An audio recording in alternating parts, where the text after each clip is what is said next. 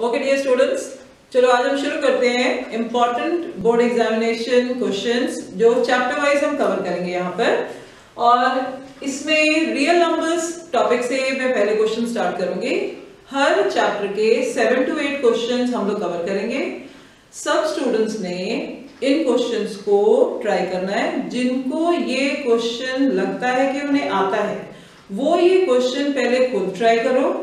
उसके बाद अपना वेरीफाई करना है तुम लोगों ने आंसर फ्रॉम द वीडियो ठीक है? और जिनको ये क्वेश्चन नहीं आता है, वो एक बार, दो बार इसके सोल्यूशन को देख के खुद फिर प्रैक्टिस करनी है इसकी बहुत। क्योंकि लास्ट मिनट में ये सारे क्वेश्चन जब तुम लोग तुम लोग कर लोगे तो तुम लोग के 100 परसेंट मार्क्स गारंटेड हो जाएँगे, ठीक है? तो let us start with the questions now so first question is show that square of any positive integer is of the form 4m or 4m plus 1 तो हमें बताना है कि किसी पॉजिटिव इंटीजर उसको फिर स्क्वायर भी करना है हमने।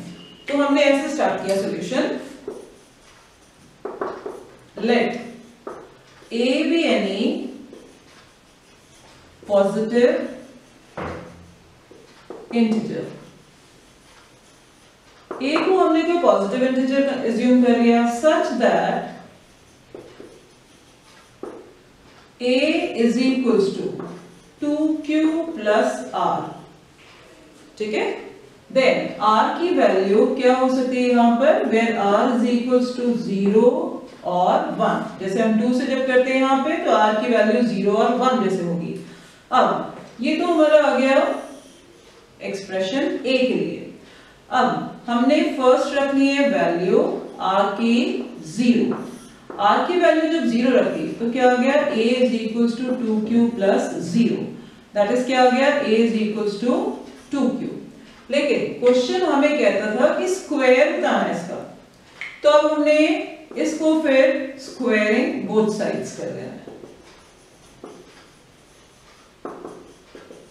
स्क्वायरिंग जो बोथ साइड्स लिखा तो ऐसे आ गया। So it becomes a square is equals to, ये कितना हो गया? 4q square. हमने दिखाना है इसको ऑफ़ द फॉर्म 4m तो यहाँ से मुझे 4 नीचे देखो कॉमन लिख लेना है इस फॉर्म से। और फिर लिख देना है a square is equals to 4 into m. फिर यहाँ मेंशन कर दिया, where m is equals to q square. ये जो हमारी आ गई this is our first equation clear अब अब हमने सेकंड लेना है इसमें। तो सेकंड कैसे हमने स्टार्ट करना है? तो हमने ऐसे लिया लेट पहले आर की वैल्यू क्या रखी? हमने ज़ीरो अब आर की वैल्यू हम रख देंगे वन जब आर की वैल्यू वन रखी तो मिल जाएगा a is equal to two q plus one उसके बाद, फिर हमें क्योंकि क्वेश्चन में स्क्वायर करना था तो हमने इसको स्क्वायर करना है तो ऐसे लिख दिया।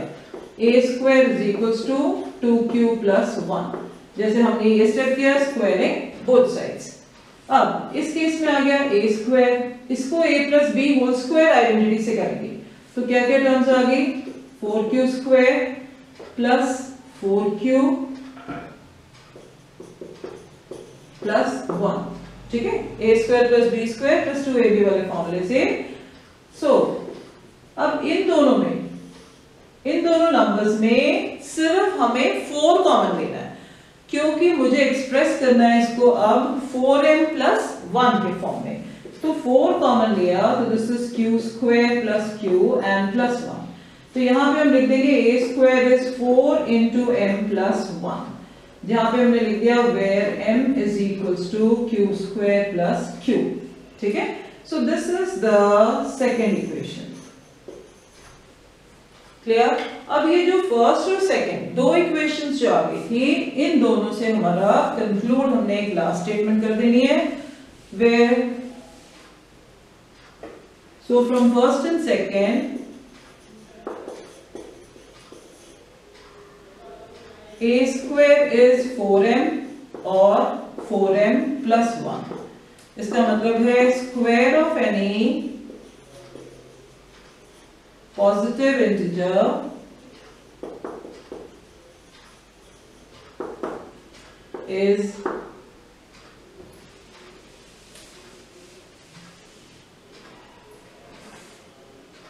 of the form 4m और 4n plus 1 क्लियर समझ आ गया अब इसके बाद जो नेक्स्ट वीडियो बनेगा, उसमें मैं नेक्स्ट इंपॉर्टेंट क्वेश्चन कवर करूँगी रियल नंबर्स का so keep watching the video thank you